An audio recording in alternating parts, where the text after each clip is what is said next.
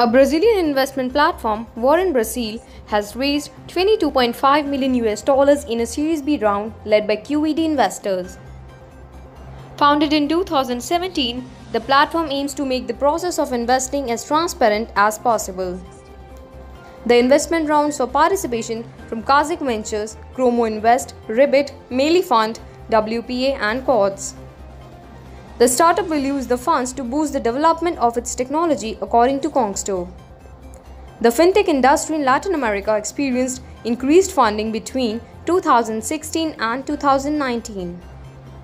The annual funding scaled up from 350.4 million US dollars to 2.75 billion US dollars with annual capital growth of 98.9%, according to FinTech Global.